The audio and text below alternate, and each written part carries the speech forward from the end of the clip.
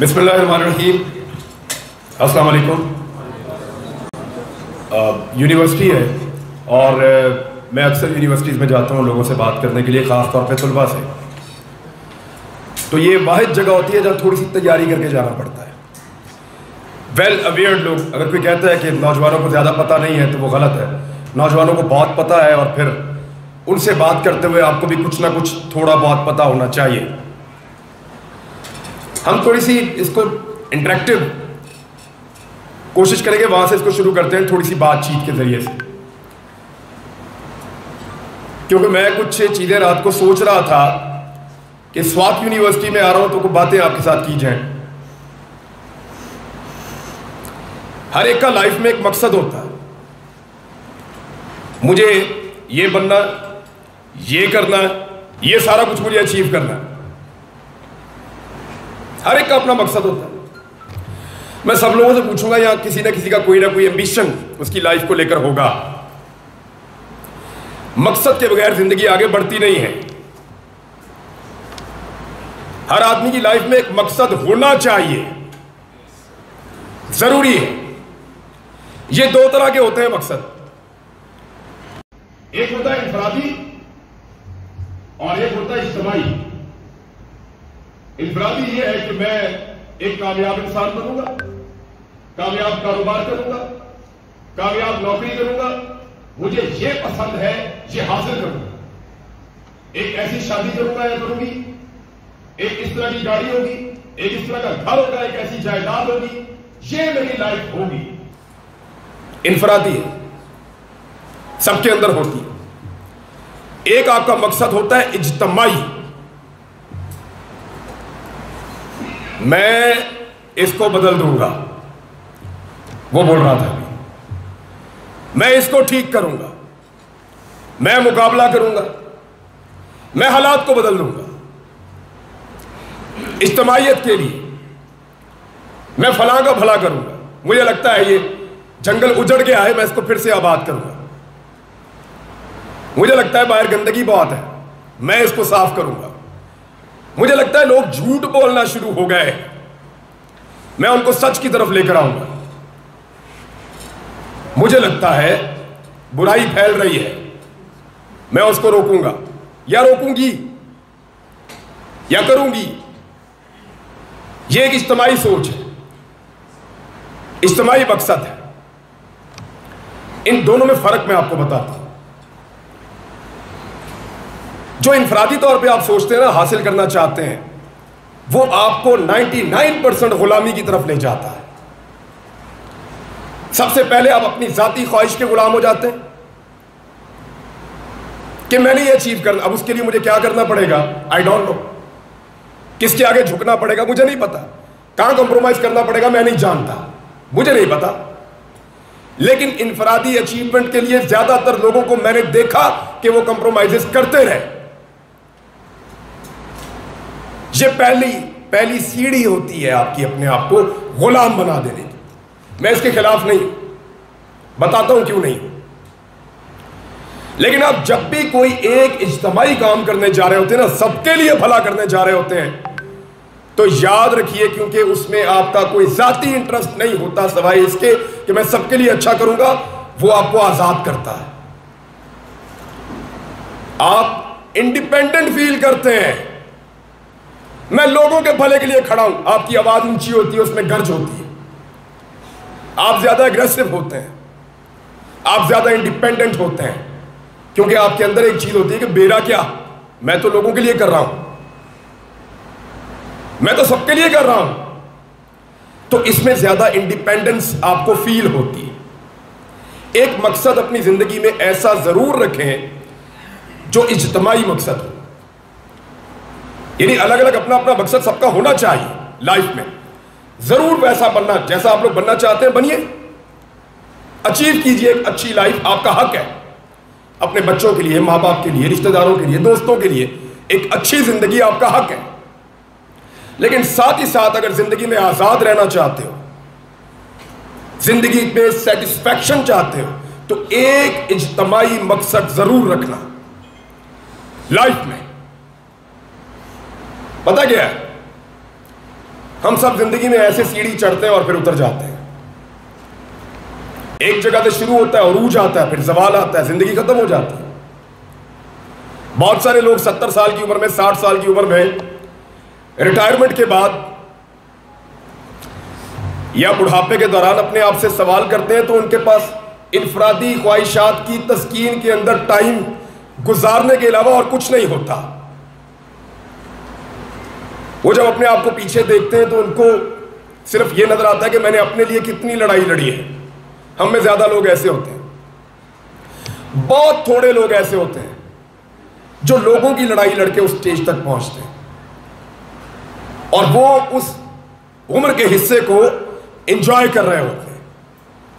उनके पास बताने के लिए होता है आने वाली नस्लों को भी और अपने आप को भी कि मैं लड़ा था, मैंने मुकाबला किया था।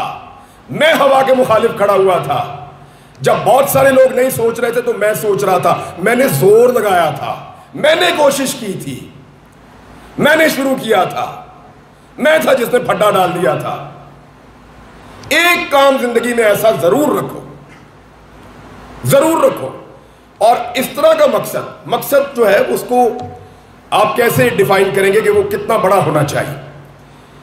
कम से कम मकसद को तलाश करते वक्त ये सोचना कि आपको ज़िंदगी में जब भी कभी ये लगे कि मेरी ज़िंदगी मेरे मकसद से ज़्यादा कीमती नहीं है तो वो होता है मकसद।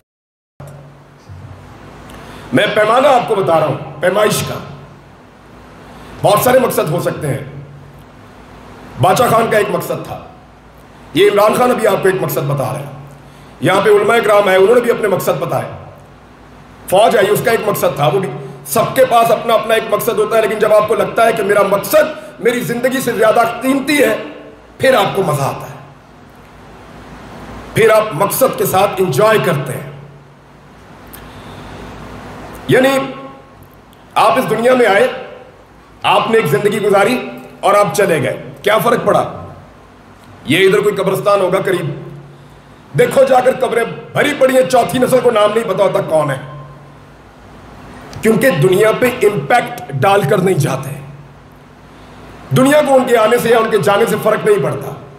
बहुत थोड़े से लोग होते हैं जो दुनिया पे अपना इंपैक्ट छोड़ कर जाते हैं। वो बनने की कोशिश तो करो। हो सकता है कामयाब हो जाए। हो सकता है कामयाब ना हो। लेकिन ये सेटिस्फैक्शन होनी चाहिए कि मैंने कोशिश की थी। पूरी कोशिश की थी। और मेरा कंट्रीब्यूशन है। मैंने इंपैक्ट डाला है। वो जिसने पहिया बनाया था सबसे पहले। दुनिया को सबसे ज़्यादा तब्दील करने वाली जो ईजाद है वो पहिया है। उससे ज़्यादा दुनिया को किसी ने तब्दील नहीं किया।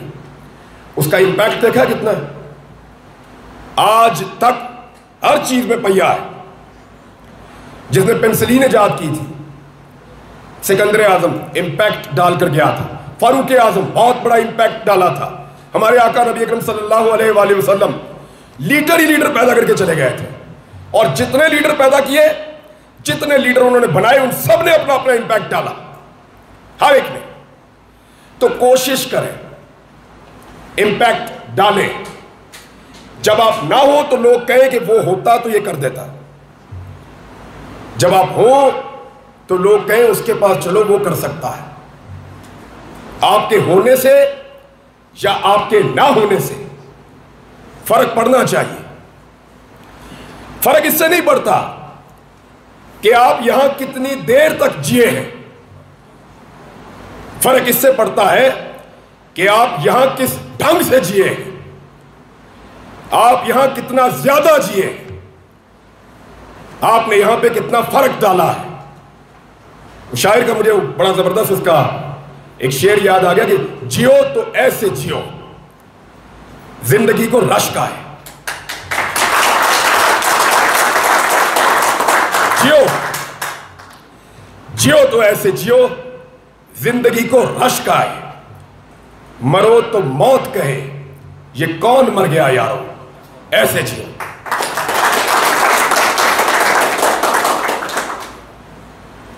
और कॉन्फिडेंस के साथ, जो करना है, वो कर गुजरो। इंपैक्ट वही डालता है। असर वही छोड़कर जाता है।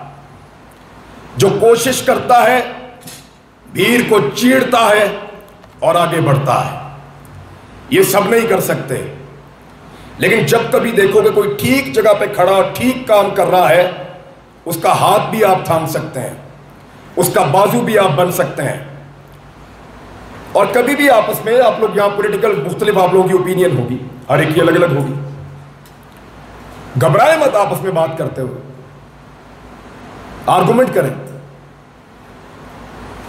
ये मत सोचेंगे, मुझे गैर सियासी रहना चाहिए, वो नाराज़ हो जाएगा। नहीं आर्गुमेंट करें। दलील के साथ कायल करें।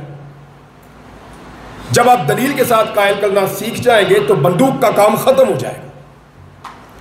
दलील से कायल करें। डंडा या हथियार वो उठाता है जिसके पास दलील नहीं होती। अपने डिफेंस में आप उठा सकते हैं, बड़ी अच्छी बात। अपने तहफ़ में आप उठा सकते हैं। लेकिन किसी की दलील आपको जिच कर दे तो फिर आपके पास या तो काउंटर दलील होनी चाहिए, या फिर आप तैयारी करके आए। या फिर आप उसको तस्लीम करें कि ठीक है, मैं आपकी दलील से कायल हो गया। लेकिन बहस जारी रखें, बात करते रहें। इससे आपको लाइफ में बहुत कुछ ना सिर्फ़ सीखने को मिलेगा, बल्कि जब आप इस इस जामे से बाहर निकलेंगे तो दुनिया बड़ी जालिम है। बहुत सारी चीज़ों का आपको सामना करना पड़ेगा। जितने तैयार होकर निकलेंगे, उतना बेहतर मुकाबला करेंगे। जितने क्लियर होकर निकलेंगे, उतनी क्लैरिटी के साथ दुनिया को जाके आप टकराएँगे। और याद रखिएगा, मकसद मकसद तो मैं आपको इसलिए ला रहा हूँ कि हम लोग नॉर्मली में पता ही नहीं होता हम क्या करना चाहते हैं।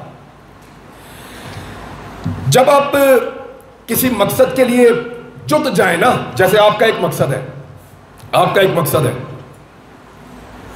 तो चंद चीज़ों को अपने दिमाग में हमेशा रखिए। नंबर एक, ये मुमकिन है, मैं इसे कर लूँगा। ये कभी मत सोचिए कि ये मुश्किल है। मुश्किल होगा, नामुमकिन कुछ नहीं होता। ये मुमकिन है, मैं इसे कर लूँगा। मुश्किल आए, उसको इंजॉय करो। उनसे सीखो। अगर आपके मकसद में कोई रुकावट नहीं आ रही तो इसका मतलब है बेमकसद है कोई मकसद ऐसा नहीं है। अगर रुकावट आ रही है तो समझो आप ठीक जगह पे काम कर रहे हैं। आपके अंदर एक जनून होना चाहिए उसको पूरा करने के लिए। शिकवा ना करें, मायूसी ना फैलाएँ और ज़ोर लगाते चले जाएँ। एक मकसद के हवाले से एक बड़ी इंपॉर्टेंट चीज़ है, मैं आपके सामने रख देता हूँ। ज़रूरी नहीं कि आपकी ज़िंदगी में आपका मकसद पूरा हो जाए। लेकिन यह ज़रूरी है कि आपकी ज़िंदगी एक मकसद में लग जाए। फिर आप अपना कंट्रीब्यूशन इस दुनिया को देकर जा सकते हैं। बहुत सारे लोग ऐसे हैं जिनको अपनी ज़िंदगी से अपना मकसद बड़ा लगता है। ये आपका सबक वजी आज़म हर वक्त यही कहता है ना कि मुझे मार भी दे दो, कोई फ़र्क नहीं पड़ता। मैं खुददारी के लिए, आज़ादी के लिए ये झगड़ा कर रहा हूँ, लड़ाई कर रहा हूँ। तो उसको ये लगता है अब, और वाकई में वो मर सकता था, जिस तरह वो आया यहाँ से, केपी से वो वो वहाँ तक गया, मैं फिटनेस था। वहाँ तो कोई उसको नाइन एम पिस्टल से मार सकता था। उसने वो रिस्क लिया। इसका मतलब है, उसका जो भी मकसद है, उसके दिमाग में, उसको अपनी लाइफ से बड़ा लगना शुरू हो गया है। बाचा खान का मकसद। आप पढ़े उनको, आप तो पढ़ते होंगे स्टूडेंट है। वो उनको अपनी ज़िंदगी से बड़ा लगता था। बहुत सारे और लोग हैं। और मैंने एक चीज़ नोट की है, आप लोगों की खास तौर पे। थोड़े से ज़्यादा आज़ाद हैं आप लोग। मैं थोड़ा कह रहा हूँ, जरा मार्जिन ज़्यादा बढ़ा लें आप। मुसलमान जो है ना, वो कुछ भी कबूल कर लेता है, गुलामी कबूल नहीं करता। वैसे तो ये इंसान की जबिलत है। इंसान कभी भी गुलामी कबूल नहीं करना चाहता। मुसलमान के अंदर ये खासियत ज़्यादा है और पठान में थोड़ी और ज़्यादा है। जब भी आप लोगों को किसी ने आज़ादी का नारा दिया, मैंने देखा सबसे पहले आप लोग निकले, हमेशा। तारीख के अंदर भी। और आज भी मैं इसी तरह की चीज़ें विटनेस करता रहता हूँ। तो थैंक यू वेरी मच मुझे आपसे इतना ही कहना था। बामकसद ज़िंदगी गुजारिए। बिस्मिल्लाहिर्रहमानिर्रहीम। अस्सलाम वालेकुम। यूनिवर्सिटी है और मैं अक्सर यूनिवर्सिटीज़ में जाता हूँ लोगों से बात करने के लिए ख़ास तौर पे तलबा से। तो ये वाद जगह होती है जहाँ थोड़ी सी तैयारी करके जाना पड़ता है। वेल well अवेयर लोग, अगर कोई कहता है कि नौजवानों को ज़्यादा पता नहीं है तो वो गलत है। नौजवानों को बहुत पता है और फिर उनसे बात करते हुए आपको भी कुछ ना कुछ थोड़ा बहुत पता होना चाहिए। हम थोड़ी सी इसको इंटरेक्टिव कोशिश करेंगे वहाँ से इसको शुरू करते हैं थोड़ी सी बातचीत के ज़रिए से। क्योंकि मैं कुछ चीज़ें रात को सोच रहा था कि स्वात यूनिवर्सिटी में आ रहा हूँ तो कुछ बातें आपके साथ की जाएँ। हर एक का लाइफ में एक मकसद होता है। मुझे ये बनना, ये करना, ये सारा कुछ मुझे अचीव करना। है हर एक का अपना मकसद होता है। मैं सब लोगों से पूछूँगा यहाँ किसी ना किसी का कोई ना कोई एम्बिशन उसकी लाइफ को लेकर होगा। मकसद के बगैर ज़िंदगी आगे बढ़ती नहीं है। हर आदमी की लाइफ में एक मकसद होना चाहिए। ज़रूरी है। ये दो तरह के होते हैं मकसद। एक होता है इंफरादी और एक होता है इज्तमाही। इंफरादी ये है कि मैं एक कामयाब इंसान बनूँगा। कामयाब कारोबार करूँगा, कामयाब नौकरी करूँगा, मुझे ये पसंद है, ये हासिल करूँगा। एक ऐसी शादी करूँगा या करूँगी, एक इस तरह की गाड़ी होगी, एक इस तरह का घर होगा, एक ऐसी जायदाद होगी, ये मेरी लाइफ होगी। इंफरादी है, सबके अंदर होती है। एक आपका मकसद होता है इज्तमाही मैं इसको बदल दूँगा। वो बोल रहा था। मैं इसको ठीक करूँगा। मैं मुकाबला करूँगा। मैं हालात को बदल दूँगा। इज्तमाहीत के लिए मैं फला का भला करूँगा। मुझे लगता है ये जंगल उजड़ गया है मैं इसको फिर से आबाद करूँगा। मुझे लगता है बाहर गंदगी बहुत है। मैं इसको साफ़ करूँगा। मुझे लगता है लोग झूठ बोलना शुरू हो गए मैं उनको सच की तरफ़ लेकर आऊँगा। मुझे लगता है बुराई फैल रही है। मैं उसको रोकूँगा। या रोकूँगी, या करूँगी। यह एक इज्तमाही सोच है। इज्तमाही मकसद है। इन दोनों में फ़र्क मैं आपको बताता हूँ। जो इंफरादी तौर पे आप सोचते हैं ना, हासिल करना चाहते हैं, वो आपको 99 परसेंट गुलामी की तरफ़ ले जाता है। सबसे पहले आप अपनी जाती ख्वाहिश के गुलाम हो जाते हैं कि मैंने ये अचीव करना, अब उसके लिए मुझे क्या करना पड़ेगा? आई डोंट नो किसके आगे झुकना पड़ेगा? मुझे नहीं पता। कहाँ कंप्रोमाइज करना पड़ेगा? मैं नहीं जानता। मुझे नहीं पता। लेकिन इंफरादी अचीवमेंट के लिए ज़्यादातर लोगों को मैंने देखा कि वो कंप्रोमाइजेस करते रहे। ये पहली पहली सीढ़ी होती है आपकी अपने आप को गुलाम बना देने मैं इसके खिलाफ नहीं बताता हूँ क्यों नहीं लेकिन आप जब भी कोई एक इज्तमाही काम करने जा रहे होते हैं ना, सबके लिए भला करने जा रहे होते हैं तो याद रखिए क्योंकि उसमें आपका कोई जाती इंटरेस्ट नहीं होता सवाई इसके कि मैं सबके लिए अच्छा करूँगा, वो आपको आज़ाद करता है। आप इंडिपेंडेंट फील करते हैं।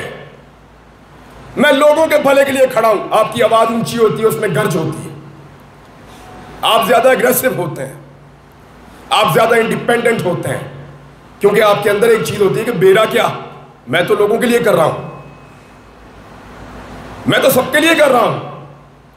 तो इसमें ज़्यादा इंडिपेंडेंस आपको फील होती है। एक मकसद अपनी ज़िंदगी में ऐसा ज़रूर रखें जो इज्तमाही मकसद हो। यानी अलग अलग अपना अपना मकसद सबका होना चाहिए लाइफ में। ज़रूर वैसा बनना जैसा आप लोग बनना चाहते हैं, बनिए। अचीव कीजिए एक अच्छी लाइफ आपका हक है। अपने बच्चों के लिए माँ बाप के लिए, रिश्तेदारों के लिए, दोस्तों के लिए एक अच्छी ज़िंदगी आपका हक है। लेकिन साथ ही साथ अगर ज़िंदगी में आज़ाद रहना चाहते हो, ज़िंदगी में सेटिस्फैक्शन चाहते हो तो एक इज्तमाही मकसद ज़रूर रखना। लाइफ में। पता क्या है? हम सब ज़िंदगी में ऐसे सीढ़ी चढ़ते हैं और फिर उतर जाते हैं। एक जगह से शुरू होता है और ऊज आता है, फिर जवाल आता है, ज़िंदगी खत्म हो जाती है। बहुत सारे लोग सत्तर साल की उम्र में, साठ साल की उम्र में रिटायरमेंट के बाद या बुढ़ापे के दौरान अपने आप से सवाल करते हैं तो उनके पास इनफरादी ख्वाहिशात की तस्कीन के अंदर टाइम गुजारने के अलावा और कुछ नहीं होता। वो जब अपने आप को पीछे देखते हैं तो उनको सिर्फ़ ये नज़र आता है कि मैंने अपने लिए कितनी लड़ाई लड़ी है। हम में ज़्यादा लोग ऐसे होते हैं। बहुत थोड़े लोग ऐसे होते हैं, जो लोगों की लड़ाई लड़के उस स्टेज तक पहुँचते हैं। और वो उस उम्र के हिस्से को एंजॉय कर रहे होते हैं। उनके पास बताने के लिए होता है, आने वाली नस्लों को भी और अपने आप को भी, कि मैं लड़ा था, मैंने मुकाबला किया था। मैं हवा के मुखालिफ खड़ा हुआ था। जब बहुत सारे लोग नहीं सोच रहे थे तो मैं सोच रहा था, मैंने ज़ोर लगाया था। मैंने कोशिश की थी। मैंने शुरू किया था। मैं था जिसने फड्डा डाल दिया था। एक काम ज़िंदगी में ऐसा ज़रूर रखो। ज़रूर रखो। और इस तरह का मकसद मकसद जो है, उसको आप कैसे डिफाइन करेंगे कि वो कितना बड़ा होना चाहिए? कम से कम मकसद को तलाश करते वक्त ये सोचना कि आपको ज़िंदगी में जब भी कभी ये लगे कि मेरी ज़िंदगी मेरे मकसद से ज़्यादा कीमती नहीं है तो वो होता है मकसद। मैं पैमाना आपको बता रहा हूँ, पैमाइश का। बहुत सारे मकसद हो सकते हैं। बादशाह खान का एक मकसद था। ये इमरान खान अभी आपको एक मकसद बता रहे हैं। यहाँ पे उलमा कराम है, उन्होंने भी अपने मकसद बताए। फौज आई, उसका एक मकसद था, वो भी। सबके पास अपना अपना एक मकसद होता है, लेकिन जब आपको लगता है कि मेरा मकसद मेरी ज़िंदगी से ज़्यादा कीमती है, फिर आपको मज़ा आता है। फिर आप मकसद के साथ इंजॉय करते हैं।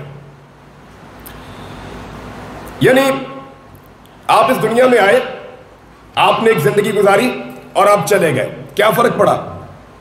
ये इधर कोई कब्रस्तान होगा करीब। देखो जाकर कब्रें भरी पड़ी हैं, चौथी नस्ल को नाम नहीं पता होता कौन है। क्योंकि दुनिया पे इंपैक्ट डालकर नहीं जाते दुनिया को उनके आने से या उनके जाने से फ़र्क नहीं पड़ता। बहुत थोड़े से लोग होते हैं जो दुनिया पे अपना इंपैक्ट छोड़ कर जाते हैं। वो बनने की कोशिश तो करो। हो सकता है कामयाब हो जाए। हो सकता है कामयाब ना हो। लेकिन ये सेटिस्फैक्शन होनी चाहिए कि मैंने कोशिश की थी। पूरी कोशिश की थी। और मेरा कंट्रीब्यूशन है। मैंने इंपैक्ट डाला है। वो जिसने पहिया बनाया था सबसे पहले, दुनिया को सबसे ज़्यादा तब्दील करने वाली जो ईजाद है वो पहिया है। उससे ज़्यादा दुनिया को किसी ने तब्दील नहीं किया। उसका इंपैक्ट देखा कितना? है आज तक हर चीज़ में पहिया है। जिसने पेंसिलीन ईजाद की थी, सिकंदर आज़म इंपैक्ट डालकर गया था। फारूक आज़म बहुत बड़ा इंपैक्ट डाला था। हमारे आका नबी अकरम सल्लल्लाहु अलैहि वसल्लम लीडर ही लीडर पैदा करके चले गए थे। और जितने लीडर पैदा किए, जितने लीडर उन्होंने बनाए, उन सबने अपना अपना इंपैक्ट डाला। हर एक ने। तो कोशिश करें इंपैक्ट डालें। जब आप ना हो तो लोग कहें कि वो होता तो ये कर देता। जब आप हो तो लोग कहें उसके पास चलो वो कर सकता है। आपके होने से या आपके ना होने से फ़र्क पड़ना चाहिए। फ़र्क इससे नहीं पड़ता कि आप यहाँ कितनी देर तक जिए हैं। फ़र्क इससे पड़ता है कि आप यहाँ किस ढंग से जिए हैं। आप यहाँ कितना ज़्यादा जिए आपने यहाँ पे कितना फ़र्क डाला है। शायर का मुझे बड़ा ज़बरदस्त उसका एक शेर याद आ गया कि जियो तो ऐसे जियो, ज़िंदगी को रश का है। जियो। जियो तो ऐसे जियो, ज़िंदगी को रश का है मरो तो मौत कहे, ये कौन मर गया यारो? ऐसे जियो।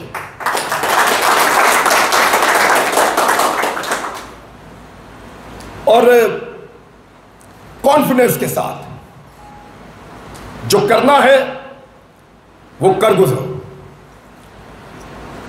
इंपैक्ट वही डालता है। असर वही छोड़कर जाता है।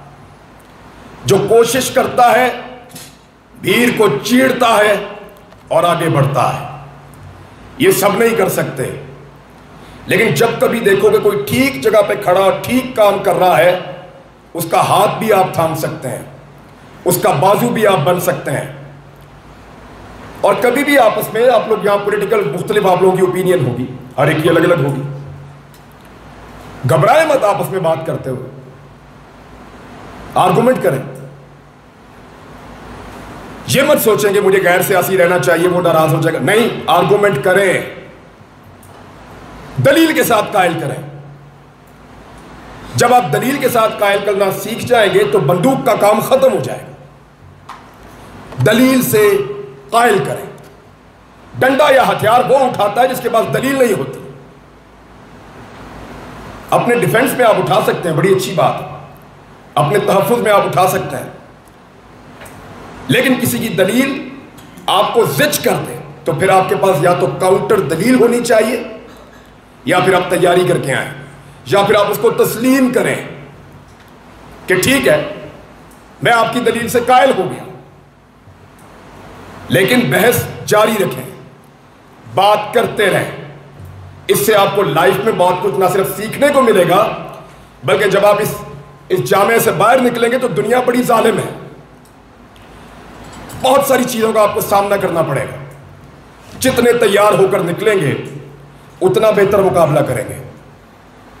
जितने क्लियर होकर निकलेंगे, उतनी क्लैरिटी के साथ दुनिया को जाके आप टकराएँगे। और याद रखिएगा, मकसद मकसद तो मैं आपको इसलिए ला रहा हूँ कि हम लोग नॉर्मली हमें पता ही नहीं होता हम क्या करना चाहते हैं। जब आप किसी मकसद के लिए जुट जाए ना, जैसे आपका एक मकसद है, आपका एक मकसद है तो चंद चीज़ों को अपने दिमाग में हमेशा रखिए। नंबर एक, ये मुमकिन है, मैं इसे कर लूँगा।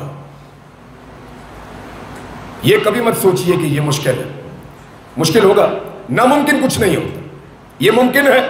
मैं इसे कर लूँगा मुश्किल आए, उसको इंजॉय करो। उनसे सीखो। अगर आपके मकसद में कोई रुकावट नहीं आ रही तो इसका मतलब है बेमकसद है कोई मकसद ऐसा नहीं है। अगर रुकावट आ रही है तो समझो आप ठीक जगह पे काम कर रहे हैं। आपके अंदर एक जनून होना चाहिए उसको पूरा करने के लिए। शिकवा ना करें। मायूसी ना फैलाएँ। और ज़ोर लगाते चले जाएँ। एक मकसद के हवाले से एक बड़ी इंपॉर्टेंट चीज़ है, मैं आपके सामने रख देता हूँ। ज़रूरी नहीं कि आपकी ज़िंदगी में आपका मकसद पूरा हो जाए। लेकिन यह ज़रूरी है कि आपकी ज़िंदगी एक मकसद में लग जाए। फिर आप अपना कंट्रीब्यूशन इस दुनिया को देकर जा सकते हैं। बहुत सारे लोग ऐसे हैं जिनको अपनी ज़िंदगी से अपना मकसद बड़ा लगता है। ये आपका सबक वजी आज़म हर वक्त यही कहता है ना कि मुझे मार भी दे दो, कोई फ़र्क नहीं पड़ता। मैं खुददारी के लिए, आज़ादी के लिए ये झगड़ा कर रहा हूँ, लड़ाई कर रहा हूँ। तो उसको ये लगता है अब, और वाकई में वो मर सकता था, जिस तरह वो आया यहाँ से केपी से, वो वो वहाँ तक गया, मैं विटनेस था। वहाँ तो कोई उसको नाइन एम पिस्टल से मार सकता था। उसने वो रिस्क लिया। इसका मतलब है उसका जो भी मकसद है उसके दिमाग में, उसको अपनी लाइफ से बड़ा लगना शुरू हो गया है। बाचा खान का मकसद। आप पढ़े उनको, आप तो पढ़ते होंगे स्टूडेंट है। वो उनको अपनी ज़िंदगी से बड़ा लगता था। बहुत सारे और लोग हैं। और मैंने एक चीज़ नोट की है, आप लोगों की खास तौर पे। थोड़े से ज़्यादा आज़ाद हैं आप लोग। मैं थोड़ा कह रहा हूँ, जरा मार्जिन ज़्यादा बढ़ा लें आप। मुसलमान जो है ना, वो कुछ भी कबूल कर लेता है, गुलामी कबूल नहीं करता। वैसे तो ये इंसान की जबिलत है। इंसान कभी भी गुलामी कबूल नहीं करना चाहता। मुसलमान के अंदर ये खासियत ज़्यादा है और पठान में थोड़ी और ज़्यादा है। जब भी आप लोगों को किसी ने आज़ादी का नारा दिया, मैंने देखा सबसे पहले आप लोग निकले। हमेशा। तारीख के अंदर भी। और आज भी मैं इसी तरह की चीज़ें विटनेस करता रहता हूँ। तो थैंक यू वेरी मच मुझे आपसे इतना ही कहना था। बामकसद ज़िंदगी गुजारिए। बिस्मिल्लाहिर्रहमानिर्रहीम। अस्सलाम वालेकुम। यूनिवर्सिटी है और मैं अक्सर यूनिवर्सिटीज़ में जाता हूँ लोगों से बात करने के लिए ख़ास तौर पे तलबा से। तो ये वाद जगह होती है जहाँ थोड़ी सी तैयारी करके जाना पड़ता है। वेल अवेयर लोग, अगर कोई कहता है कि नौजवानों को ज़्यादा पता नहीं है तो वो गलत है। नौजवानों को बहुत पता है और फिर उनसे बात करते हुए आपको भी कुछ ना कुछ थोड़ा बहुत पता होना चाहिए। हम थोड़ी सी इसको इंटरेक्टिव कोशिश करेंगे वहाँ से इसको शुरू करते हैं थोड़ी सी बातचीत के ज़रिए से। क्योंकि मैं कुछ चीज़ें रात को सोच रहा था कि स्वात यूनिवर्सिटी में आ रहा हूँ तो कुछ बातें आपके साथ की जाएँ। हर एक का लाइफ में एक मकसद होता है। मुझे ये बनना, ये करना, ये सारा कुछ मुझे अचीव करना हर एक का अपना मकसद होता है। मैं सब लोगों से पूछूँगा यहाँ किसी ना किसी का कोई ना कोई एम्बिशन उसकी लाइफ को लेकर होगा। मकसद के बगैर ज़िंदगी आगे बढ़ती नहीं है। हर आदमी की लाइफ में एक मकसद होना चाहिए। ज़रूरी है। ये दो तरह के होते हैं मकसद। एक होता है इंफरादी और एक होता है इज्तमाही। इंफरादी ये है कि मैं एक कामयाब इंसान बनूँगा। कामयाब कारोबार करूँगा, कामयाब नौकरी करूँगा, मुझे ये पसंद है, ये हासिल करूँगा। एक ऐसी शादी करूँगा या करूँगी, एक इस तरह की गाड़ी होगी, एक इस तरह का घर होगा, एक ऐसी जायदाद होगी, ये मेरी लाइफ होगी। इंफरादी है, सबके अंदर होती है। एक आपका मकसद होता है इज्तमाही मैं इसको बदल दूँगा। वो बोल रहा था। मैं इसको ठीक करूँगा।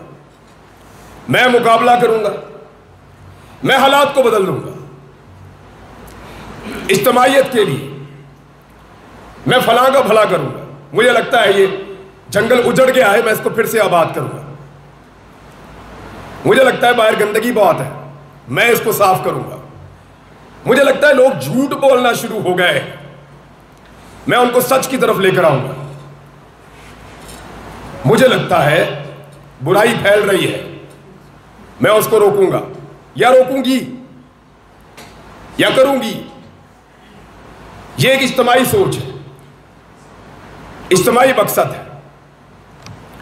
इन दोनों में फ़र्क मैं आपको बताता हूँ। जो इंफरादी तौर पे आप सोचते हैं ना, हासिल करना चाहते हैं, वो आपको 99 परसेंट गुलामी की तरफ़ ले जाता है।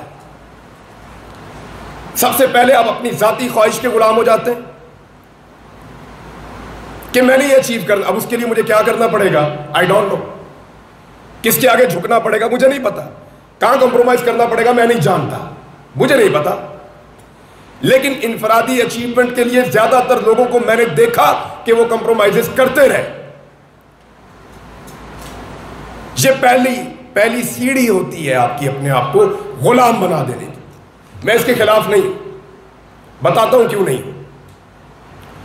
लेकिन आप जब भी कोई एक इज्तमाही काम करने जा रहे होते हैं ना, सबके लिए भला करने जा रहे होते हैं तो याद रखिए क्योंकि उसमें आपका कोई जाती इंटरेस्ट नहीं होता सवाई इसके कि मैं सबके लिए अच्छा करूँगा, वो आपको आज़ाद करता है। आप इंडिपेंडेंट फील करते हैं। मैं लोगों के भले के लिए खड़ा हूँ, आपकी आवाज़ ऊँची होती है, उसमें गर्ज होती है। आप ज़्यादा अग्रेसिव होते हैं। आप ज़्यादा इंडिपेंडेंट होते हैं। क्योंकि आपके अंदर एक चीज़ होती है कि बेरा क्या? मैं तो लोगों के लिए कर रहा हूँ। मैं तो सबके लिए कर रहा हूँ। तो इसमें ज़्यादा इंडिपेंडेंस आपको फील होती है। एक मकसद अपनी ज़िंदगी में ऐसा ज़रूर रखें जो इज्तमाही मकसद हो। यानी अलग अलग अपना अपना मकसद सबका होना चाहिए लाइफ में। ज़रूर वैसा बनना, जैसा आप लोग बनना चाहते हैं, बनिए। अचीव कीजिए एक अच्छी लाइफ आपका हक है। अपने बच्चों के लिए माँ बाप के लिए, रिश्तेदारों के लिए, दोस्तों के लिए एक अच्छी ज़िंदगी आपका हक है। लेकिन साथ ही साथ अगर ज़िंदगी में आज़ाद रहना चाहते हो, ज़िंदगी में सेटिस्फैक्शन चाहते हो तो एक इज्तमाही मकसद ज़रूर रखना। लाइफ में। पता क्या है? हम सब ज़िंदगी में ऐसे सीढ़ी चढ़ते हैं और फिर उतर जाते हैं। एक जगह से शुरू होता है अरूज आता है, फिर जवाल आता है, ज़िंदगी खत्म हो जाती है। बहुत सारे लोग सत्तर साल की उम्र में, साठ साल की उम्र में रिटायरमेंट के बाद या बुढ़ापे के दौरान अपने आप से सवाल करते हैं तो उनके पास इनफरादी ख्वाहिशात की तस्कीन के अंदर टाइम गुजारने के अलावा और कुछ नहीं होता। वो जब अपने आप को पीछे देखते हैं तो उनको सिर्फ़ ये नज़र आता है कि मैंने अपने लिए कितनी लड़ाई लड़ी है। हम में ज़्यादा लोग ऐसे होते हैं। बहुत थोड़े लोग ऐसे होते हैं जो लोगों की लड़ाई लड़के उस स्टेज तक पहुँचते हैं। और वो उस उम्र के हिस्से को एंजॉय कर रहे होते हैं। उनके पास बताने के लिए होता है आने वाली नस्लों को भी और अपने आप को भी कि मैं लड़ा था, मैंने मुकाबला किया था। मैं हवा के मुखालिफ खड़ा हुआ था। जब बहुत सारे लोग नहीं सोच रहे थे तो मैं सोच रहा था, मैंने ज़ोर लगाया था, मैंने कोशिश की थी, मैंने शुरू किया था, मैं था जिसने फड्डा डाल दिया था। एक काम ज़िंदगी में ऐसा ज़रूर रखो ज़रूर रखो। और इस तरह का मकसद मकसद जो है उसको आप कैसे डिफाइन करेंगे कि वो कितना बड़ा होना चाहिए? कम से कम मकसद को तलाश करते वक्त ये सोचना कि आपको ज़िंदगी में जब भी कभी ये लगे कि मेरी ज़िंदगी मेरे मकसद से ज़्यादा कीमती नहीं है तो वो होता है मकसद। मैं पैमाना आपको बता रहा हूँ, पैमाइश का। बहुत सारे मकसद हो सकते हैं।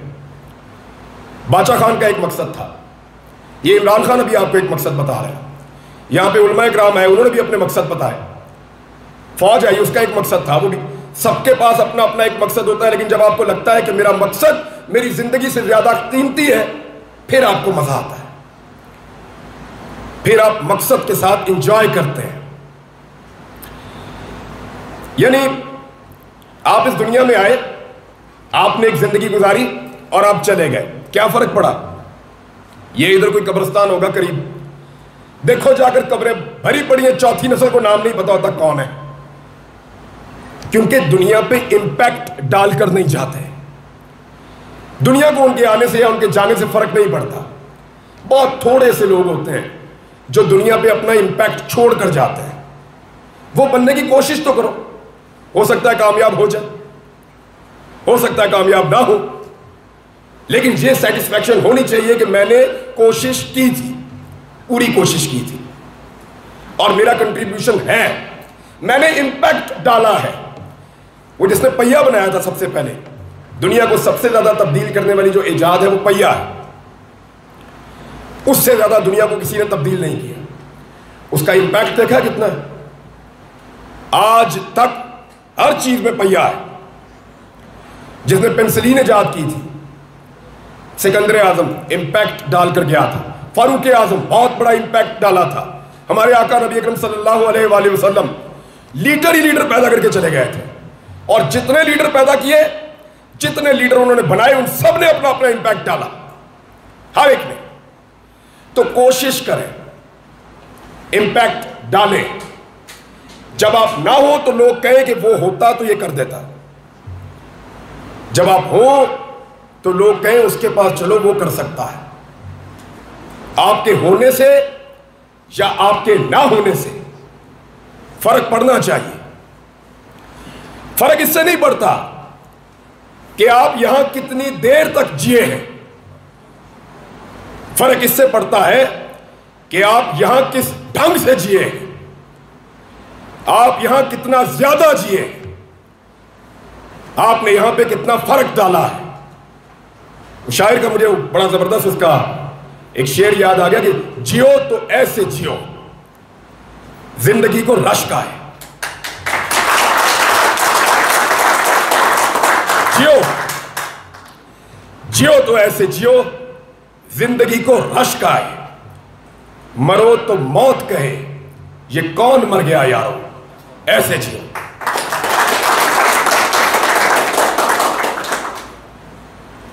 और कॉन्फिडेंस के साथ, जो करना है, वो कर गुजरो। इंपैक्ट वही डालता है। असर वही छोड़कर जाता है, जो कोशिश करता है भीड़ को चीड़ता है और आगे बढ़ता है। ये सब नहीं कर सकते। लेकिन जब कभी देखोगे कोई ठीक जगह पे खड़ा ठीक काम कर रहा है, उसका हाथ भी आप थाम सकते हैं, उसका बाजू भी आप बन सकते हैं। और कभी भी आपस में आप लोग यहाँ पॉलिटिकल मुख्तलिफ़ आप लोगों की ओपिनियन होगी, हर एक की अलग अलग होगी। घबराए मत आपस में बात करते हुए। आर्गुमेंट करें। ये मत सोचेंगे, मुझे गैर से सियासी रहना चाहिए, वो नाराज़ हो जाएगा। नहीं आर्गुमेंट करें। दलील के साथ कायल करें। जब आप दलील के साथ कायल करना सीख जाएँगे तो बंदूक का काम खत्म हो जाएगा। दलील से कायल करें। डंडा या हथियार वो उठाता है जिसके पास दलील नहीं होती। अपने डिफेंस में आप उठा सकते हैं, बड़ी अच्छी बात। अपने तहफ़ में आप उठा सकते हैं। लेकिन किसी की दलील आपको जिच कर दे तो फिर आपके पास या तो काउंटर दलील होनी चाहिए, या फिर आप तैयारी करके आए, या फिर आप उसको तस्लीम करें कि ठीक है, मैं आपकी दलील से कायल हो गया। लेकिन बहस जारी रखें, बात करते रहें।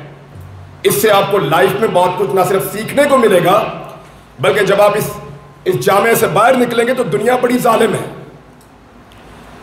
बहुत सारी चीज़ों का आपको सामना करना पड़ेगा। जितने तैयार होकर निकलेंगे, उतना बेहतर मुकाबला करेंगे। जितने क्लियर होकर निकलेंगे, उतनी क्लैरिटी के साथ दुनिया को जाके आप टकराएँगे। और याद रखिएगा, मकसद मकसद तो मैं आपको इसलिए ला रहा हूँ कि हम लोग नॉर्मली में पता ही नहीं होता हम क्या करना चाहते हैं। जब आप किसी मकसद के लिए जुट जाए ना, जैसे आपका एक मकसद है, आपका एक मकसद है तो चंद चीज़ों को अपने दिमाग में हमेशा रखिए। नंबर एक, ये मुमकिन है, मैं इसे कर लूँगा। ये कभी मत सोचिए कि ये मुश्किल है। मुश्किल होगा, नामुमकिन कुछ नहीं होता। ये मुमकिन है, मैं इसे कर लूँगा मुश्किल आए, उसको इंजॉय करो। उनसे सीखो। अगर आपके मकसद में कोई रुकावट नहीं आ रही तो इसका मतलब है बेमकसद है कोई मकसद ऐसा नहीं है। अगर रुकावट आ रही है तो समझो आप ठीक जगह पे काम कर रहे हैं। आपके अंदर एक जनून होना चाहिए उसको पूरा करने के लिए। शिकवा ना करें, मायूसी ना फैलाएँ और ज़ोर लगाते चले जाएँ। एक मकसद के हवाले से एक बड़ी इंपॉर्टेंट चीज़ है, मैं आपके सामने रख देता हूँ। ज़रूरी नहीं कि आपकी ज़िंदगी में आपका मकसद पूरा हो जाए। लेकिन यह ज़रूरी है कि आपकी ज़िंदगी एक मकसद में लग जाए। फिर आप अपना कंट्रीब्यूशन इस दुनिया को देकर जा सकते हैं। बहुत सारे लोग ऐसे हैं जिनको अपनी ज़िंदगी से अपना मकसद बड़ा लगता है। ये आपका सबक वजी आज़म हर वक्त यही कहता है ना कि मुझे मार भी दे दो, कोई फ़र्क नहीं पड़ता। मैं खुददारी के लिए, आज़ादी के लिए ये झगड़ा कर रहा हूँ, लड़ाई कर रहा हूँ। तो उसको ये लगता है अब, और वाकई में वो मर सकता था, जिस तरह वो आया यहाँ से केपी से वो वो वहाँ तक गया। मैं फिटनेस था। वहाँ तो कोई उसको नाइन में पिस्टल से मार सकता था। उसने वो रिस्क लिया। इसका मतलब है उसका जो भी मकसद है उसके दिमाग में, उसको अपनी लाइफ से बड़ा लगना शुरू हो गया है। बादशाह खान का मकसद। आप पढ़े, उनको आप तो पढ़ते होंगे स्टूडेंट है। वो उनको अपनी ज़िंदगी से बड़ा लगता था। बहुत सारे और लोग हैं। और मैंने एक चीज़ नोट की है, आप लोगों की खास तौर पे। थोड़े से ज़्यादा आज़ाद हैं आप लोग। मैं थोड़ा कह रहा हूँ, जरा मार्जिन ज़्यादा बढ़ा लें आप। मुसलमान जो है ना, वो कुछ भी कबूल कर लेता है, गुलामी कबूल नहीं करता। वैसे तो ये इंसान की जबिलत है। इंसान कभी भी गुलामी कबूल नहीं करना चाहता। मुसलमान के अंदर ये खासियत ज़्यादा है और पठान में थोड़ी और ज़्यादा है। जब भी आप लोगों को किसी ने आज़ादी का नारा दिया, मैंने देखा सबसे पहले आप लोग निकले। हमेशा। तारीख के अंदर भी।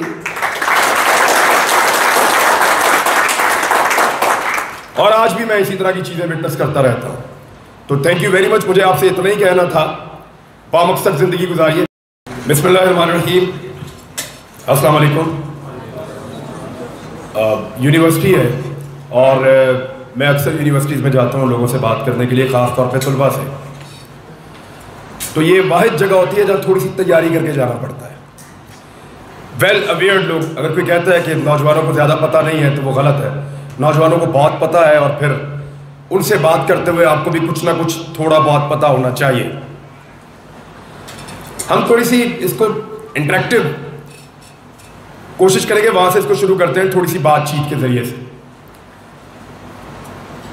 क्योंकि मैं कुछ चीज़ें रात को सोच रहा था कि स्वात यूनिवर्सिटी में आ रहा हूँ तो कुछ बातें आपके साथ की जाएँ।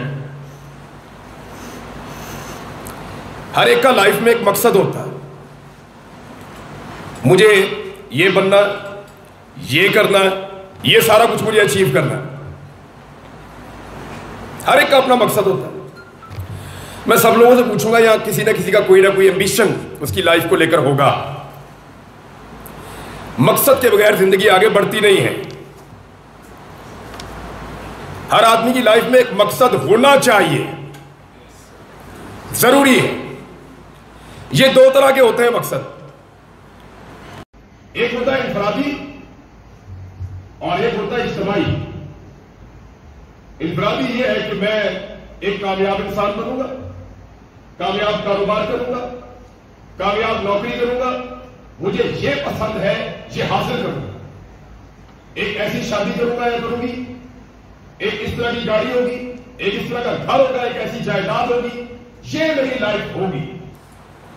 इंफरादी है, सबके अंदर होती है। एक आपका मकसद होता है इज्तमाही मैं इसको बदल दूँगा। वो बोल रहा था। मैं इसको ठीक करूँगा। मैं मुकाबला करूँगा। मैं हालात को बदल दूँगा। इज्तमाहीत के लिए मैं फला का भला करूँगा। मुझे लगता है ये जंगल उजड़ गया है, मैं इसको फिर से आबाद करूँगा। मुझे लगता है बाहर गंदगी बहुत है, मैं इसको साफ़ करूँगा। मुझे लगता है लोग झूठ बोलना शुरू हो गए मैं उनको सच की तरफ़ लेकर आऊँगा। मुझे लगता है बुराई फैल रही है। मैं उसको रोकूँगा। या रोकूँगी, या करूँगी। यह एक इज्तमाही सोच है।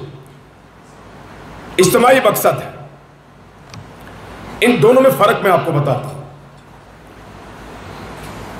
जो इंफरादी तौर पे आप सोचते हैं ना, हासिल करना चाहते हैं, वो आपको 99 परसेंट गुलामी की तरफ़ ले जाता है। सबसे पहले आप अपनी जाती ख्वाहिश के गुलाम हो जाते हैं कि मैंने ये अचीव करना, अब उसके लिए मुझे क्या करना पड़ेगा? आई डोंट नो किसके आगे झुकना पड़ेगा? मुझे नहीं पता। कहाँ कंप्रोमाइज करना पड़ेगा? मैं नहीं जानता। मुझे नहीं पता।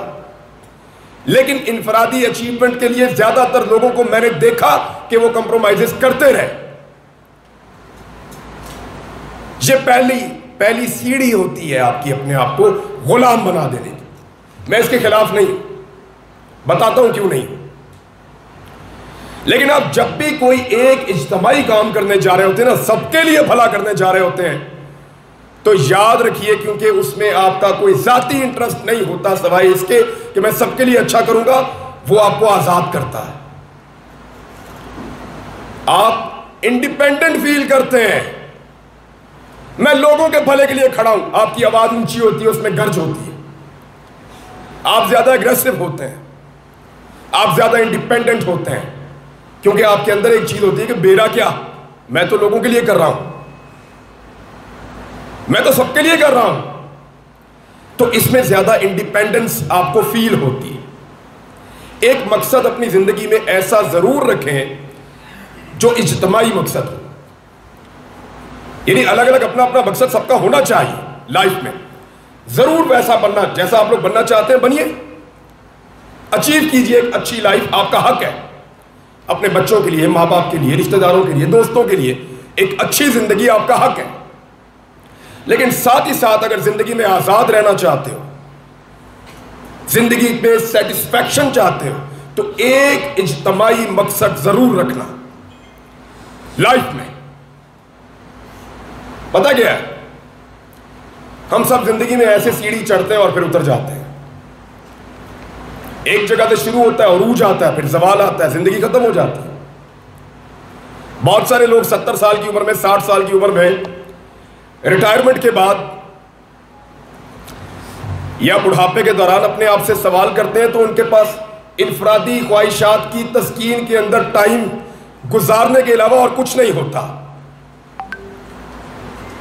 वो जब अपने आप को पीछे देखते हैं तो उनको सिर्फ़ ये नज़र आता है कि मैंने अपने लिए कितनी लड़ाई लड़ी है। हम में ज़्यादा लोग ऐसे होते हैं। बहुत थोड़े लोग ऐसे होते हैं, जो लोगों की लड़ाई लड़के उस स्टेज तक पहुँचते हैं। और वो उस उम्र के हिस्से को एंजॉय कर रहे होते हैं। उनके पास बताने के लिए होता है, आने वाली नस्लों को भी और अपने आप को भी, कि मैं लड़ा था, मैंने मुकाबला किया था। मैं हवा के मुखालिफ खड़ा हुआ था। जब बहुत सारे लोग नहीं सोच रहे थे तो मैं सोच रहा था, मैंने ज़ोर लगाया था। मैंने कोशिश की थी। मैंने शुरू किया था। मैं था जिसने फड्डा डाल दिया था। एक काम ज़िंदगी में ऐसा ज़रूर रखो। ज़रूर रखो। और इस तरह का मकसद मकसद जो है, उसको आप कैसे डिफाइन करेंगे कि वो कितना बड़ा होना चाहिए? कम से कम मकसद को तलाश करते वक्त ये सोचना कि आपको ज़िंदगी में जब भी कभी ये लगे कि मेरी ज़िंदगी मेरे मकसद से ज़्यादा कीमती नहीं है तो वो होता है मकसद। मैं पैमाना आपको बता रहा हूँ, पैमाइश का। बहुत सारे मकसद हो सकते हैं। बादशाह खान का एक मकसद था। ये इमरान खान अभी आपको एक मकसद बता रहे हैं। यहाँ पे उलमा कराम है, उन्होंने भी अपने मकसद बताए। फौज आई, उसका एक मकसद था, वो भी। सबके पास अपना अपना एक मकसद होता है, लेकिन जब आपको लगता है कि मेरा मकसद मेरी ज़िंदगी से ज़्यादा कीमती है, फिर आपको मज़ा आता है। फिर आप मकसद के साथ इंजॉय करते हैं। यानी, आप इस दुनिया में आए, आपने एक ज़िंदगी गुजारी और आप चले गए। क्या फ़र्क पड़ा? ये इधर कोई कब्रस्तान होगा करीब। देखो जाकर कब्रें भरी पड़ी है, चौथी नस्ल को नाम नहीं पता होता कौन है। क्योंकि दुनिया पे इंपैक्ट डालकर नहीं जाते। दुनिया को उनके आने से या उनके जाने से फ़र्क नहीं पड़ता। बहुत थोड़े से लोग होते हैं जो दुनिया पे अपना इंपैक्ट छोड़ कर जाते हैं। वो बनने की कोशिश तो करो। हो सकता है कामयाब हो जाए। हो सकता है कामयाब ना हो। लेकिन ये सेटिस्फैक्शन होनी चाहिए कि मैंने कोशिश की थी। पूरी कोशिश की थी। और मेरा कंट्रीब्यूशन है। मैंने इंपैक्ट डाला है।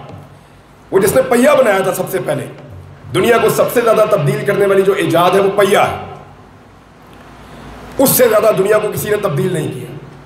उसका इंपैक्ट देखा कितना? है आज तक हर चीज़ में पहिया है। जिसने पेंसिलीन ईजाद की थी, सिकंदर आज़म इंपैक्ट डालकर गया था। फारूक आज़म बहुत बड़ा इंपैक्ट डाला था। हमारे आका नबी अकरम सल्लल्लाहु अलैहि वसल्लम लीडर ही लीडर पैदा करके चले गए थे। और जितने लीडर पैदा किए, जितने लीडर उन्होंने बनाए, उन सबने अपना अपना इंपैक्ट डाला। हर एक ने। तो कोशिश करें इंपैक्ट डालें। जब आप ना हो तो लोग कहें कि वो होता तो ये कर देता। जब आप हो तो लोग कहें उसके पास चलो वो कर सकता है। आपके होने से या आपके ना होने से फ़र्क पड़ना चाहिए। फ़र्क इससे नहीं पड़ता कि आप यहाँ कितनी देर तक जिए हैं। फ़र्क इससे पड़ता है कि आप यहाँ किस ढंग से जिए हैं। आप यहाँ कितना ज़्यादा जिए आपने यहाँ पे कितना फ़र्क डाला है। शायर का मुझे बड़ा ज़बरदस्त उसका एक शेर याद आ गया कि जियो तो ऐसे जियो, ज़िंदगी को रश का है। जियो। जियो तो ऐसे जियो, ज़िंदगी को रश का है मरो तो मौत कहे, ये कौन मर गया यारो? ऐसे जियो।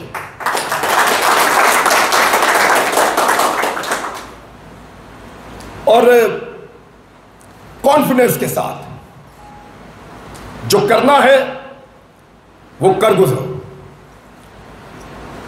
इंपैक्ट वही डालता है। असर वही छोड़कर जाता है।